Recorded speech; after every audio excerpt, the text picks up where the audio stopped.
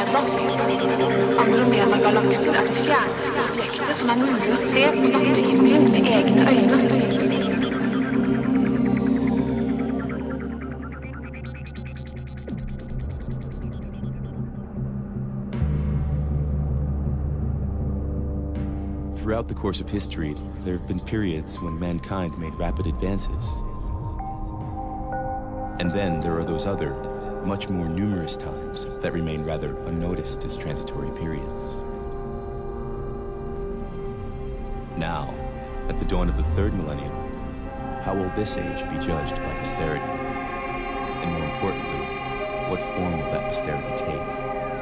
And what kind of judgment will it be capable of? For soon, much sooner than we anticipate. Mankind as we currently know it might radically change.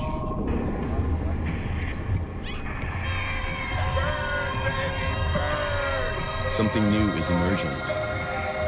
While people have talked about global peace, the end of history, and the disappearance of ideologies, an army of scientists around the world has continued working in their laboratories. The impact of this work is now slowly surfacing. Technology is about to take over the torch of history and will guide us to a new era.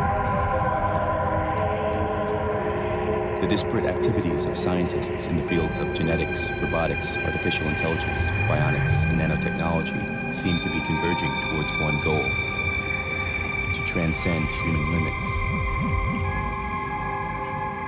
It will lead us inexorably towards a transhuman age, an age when more evolved species will leave mankind behind as a fossil in history.